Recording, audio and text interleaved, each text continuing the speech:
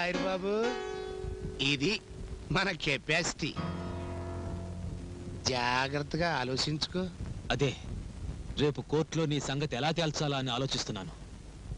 ఆడే పోయాక ఆడి కేసు పెట్టుకుని నువ్వు ఆలోచించేదేటో పొగాకు మధ్యలో కాడా? మనిషి పోయినా నీ గురించి అతనిచ్చిన సాక్ష్యాలు నా దగ్గరున్నాయి. వాటిని చంపలేవు. ఓ రెచ్చిపోకో. ఆ కేసు తాలూకు వివరాలు పైలు మన్ను మశానం నా దగ్గరికి పంపు. బ్లాక్ ఎంత కావాలో వైట్ ఎంత కావాలో అడుగు. తొడగొట్టి ముందుకొచ్చావో నా పేరు వెంకరత్నం గుర్తుంచుకో. రే ఏమిట్రా వాగుతున్నావు వెతవా రే రే నోరు మూసుకొని వినరా. ఆ, నీలాంటి వాళ్ళు కోటి మంది అయినా దుర్గా ప్రసాద్ గారిని ఏమీ చేయలేరు. నీ బోడి బెదిరింపులకు తడిసే వాళ్ళు ఇక్కడ ఎవ్వరూ లేరు. నిన్ను కోర్టులో నిలబెట్టి శిక్ష వేయించి నడి రోడ్డు మీద సంకెళ్ళు వేసి నడి రోడ్డు మీద తీసుకెళ్ళే రోజు దగ్గరలోనే ఉందిరా రాస్కెల్. థ్యాంక్స్ సంకిళ్ళంటరా నడి రోడ్డు మీద మన అందరికి రోజుల్లో అంటాడేంట్రా బాబు? నిన్ను కోర్టులో నిలబెట్టి శిక్ష వేయించి నడి రోడ్డు మీద సంకెళ్ళు వేసి నడి రోడ్డు మీద తీసుకెళ్ళే రోజు దగ్గరలోనే ఉందరా రాస్కెల్. థ్యాంక్స్ ఏమండి? ఆ అమ్మాయి ఎవరో కనుక్కుని అశోక్ పెళ్ళి చేస్తే ముచ్చటగా ఉంటుంది కదండి. వాడు చెప్పాలి కదా నేనేదో చేయనట్టు మాట్లాడతావేంటి? అయ్యి బాబాయ్ అంతగా అరుస్తారేమిటండి? పెళ్ళి గురించి కానీ అడిగింది? అంటే నేను అరవలేనా? వాడు కుర్రాడు సిగ్గుపడి చెప్పకపోవచ్చు పెద్దవాళ్ళు మనమే కల్పించుకోవాలి. అమ్మా నీ షాపింగ్ పని మానేసి కోర్టుకొచ్చి వాడిని బార్ రూమ్లో నా ముందడిగి ఈ సంవత్సరం చెప్పించు వచ్చే సంవత్సరం ముహూర్తం పెట్టిస్తాను? వచ్చే సంవత్సరమా? ఈ రోజు డిసెంబర్ థర్టీ ఫస్ట్ కదా రేపేగా కొత్త సంవత్సరం. అమ్మయ్య నా జన్మ తరించిందండి. ఏ? ఇన్నాళ్ళకు జోకేశారు కదండి.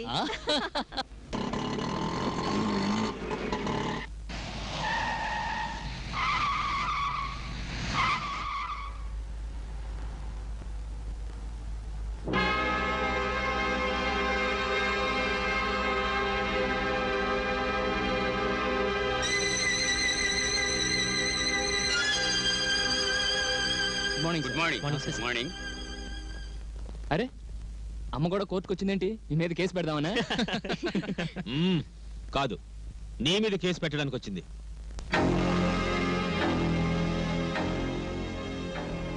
చూడండి మర్డర్ జరిగిన కాంప్లెక్స్లో ఫ్లాట్ నంబర్ నైన్లో ఒక అతను ఆ బై నేమ్ సుందర్రాజు. ఆ మర్డర్ విట్నెస్ చేసినట్టు ఇందాకే తెలిసింది. మీరిద్దరూ వెళ్ళి ఎంక్వైరీ చేసి ఏ క్లూ దొరికినా అతను కోర్టుకు తీసుకురావాలి.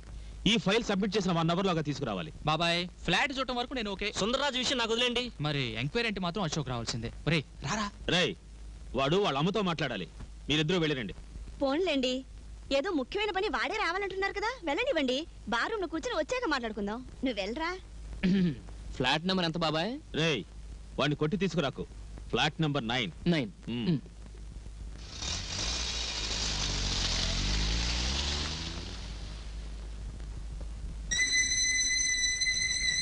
ఏంటండి? ఇంతవరకు ఒక్కడు కూడా వచ్చి సాక్ష్యం చెప్పలేదు. ఇప్పుడు సుందర్రాజు మాత్రం వచ్చి సాక్ష్యం చెప్తాడా? ఏదో ఏదైనా క్లూ దొరుకుతుందని మా తాపత్రయం. హలో లాయర్ గారు.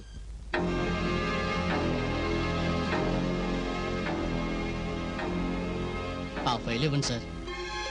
ప్లీజ్ ఇవ్వండి సార్. కోర్టులో జడ్జి గారికి ఇస్తాను. ఆయన దగ్గర అడిగి తీసుకోండి?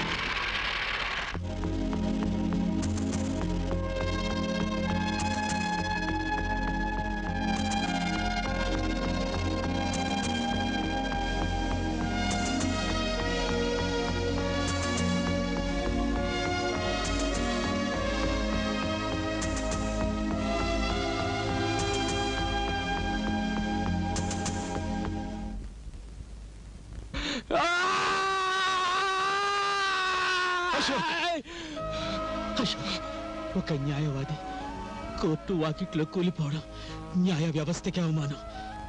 ఆ దారుణానికి న్యాయస్థానం. శిక్ష వేయలేకపోతే ధర్మశాస్త్రం మీద నమ్మకం పోతుంది. నా కేసు న్యాయస్థానంలో ఓడిపోకూడదు.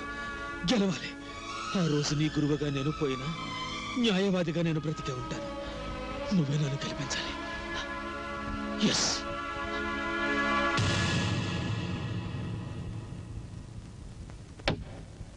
ఆర్డర్ ఆర్డర్ నా వాళ్ళను బలి తీసుకున్న వాళ్ళు నా క్షణమే ముక్కలు ముక్కలుగా నరుకుండేవాడిని. కానీ చట్టవిరుద్ధంగా ఏ పని చేయనని దుర్గాప్రసాద్ గారికి మాటిచ్చాను. అందుకే ఈ న్యాయస్థానాన్ని ఆయనగా భావించి పగిలిపోతున్న నా గుండెల మీద ఈ నల్లకోటు కప్పుకొని దోషుల్ని శిక్షించమని మీ ముందు నిలబడ్డాను. ప్లీజ్ జరిగింది ఒక్కసారి ఆలోచించండి. ఈ దారుణం ఎవరు చేసింది మీకే అర్థమవుతుంది. మేము అర్థం చేసుకుని చెప్పేది న్యాయం కాదు. మీరు సాక్ష్యాధారాలు చూపించి నిరూపించేదే న్యాయం. దుర్గా ప్రసాద్ గారు వెల్ఫేర్ ఆఫీసర్ కేసు టేకప్ చేయడం ఆధారం. అందుకని ఆ ఇద్దరిని వెంకటరత్నం అనేవాడు చంపించాడన్నది నిజం.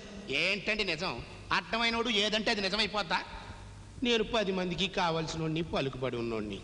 ఆ దుర్గా ప్రసాద్ని నేను పర్సనల్ లాయర్గా ఎట్టుకోలేదని ఆ ఎల్పేర్ ఆఫీసర్ గారిని పట్టుకుని నేను పోని కేసు నా మీద ఎట్టాడు? భారం దేవుడి మీద ఎట్టాను. ఆ జాత శత్రువుని నన్ను బోనెక్కిచ్చాడేంటండి బాబు? జరిగింది నిజం నువ్వు చేయించింది నిజం. వీళ్ళందరి కళ్ళ ముందు జరిగింది. ఆహా ఒక్క నువ్వు అనిపించు ఊరేమని.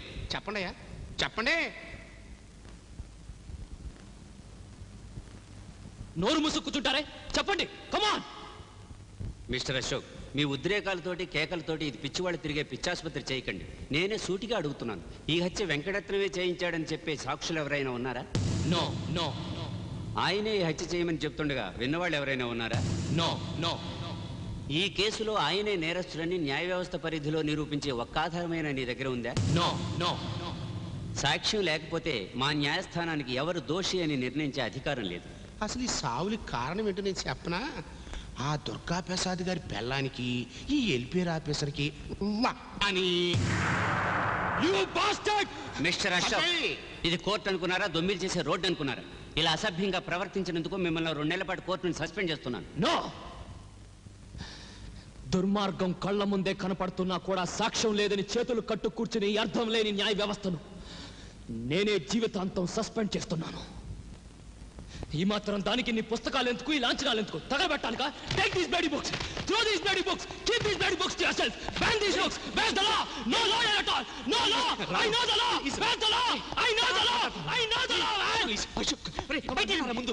మీకు తెలియదు నన్ను వదలంట్రా ఈ హత్య ఖచ్చితంగా వాడి చేశాడు? రా. వెంకటరత్నం నువ్వే హత్య చేస్తావు I know you did it I know you fools Venkataratnam ఈ హత్య చేశాడు రా? వెంకటరత్నం హత్య చేశాడు? Yes. రా రా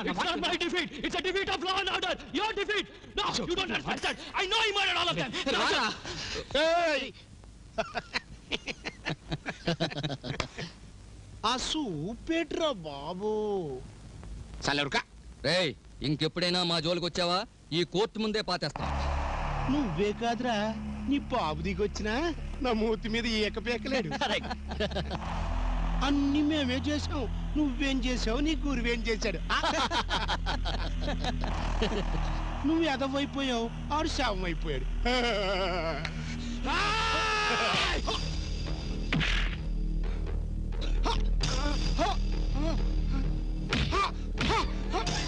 వదలరా వాడిని. అశోక్.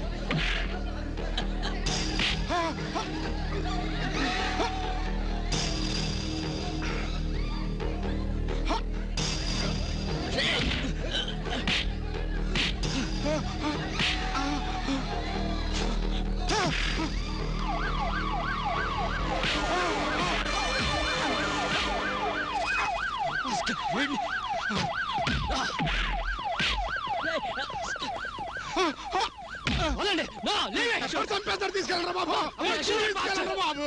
తీసుకెళ్ళరా నిన్నంత తేలిక వదలను. వదిలేండి సార్ వాడిని ఎక్కడికి తీసుకెళ్తున్నారు సార్? ఆపండి sir. Sir please sir. Sir. Ashok. Sir. Sir. సొక్క సిరిగితే సిరిగింది కానీ మనం అనుకున్నది అనుకున్నట్టుగా జరిగిందిరా. ఇప్పుడు ఆడిని స్టేషన్లో ఊపిరాడకుండా ఉత్తికి చంపేయాల? ఈ ఎరబోకుడికి ఫోన్ చేయండి రా నాయన ఫోన్ చేయండి బాబు.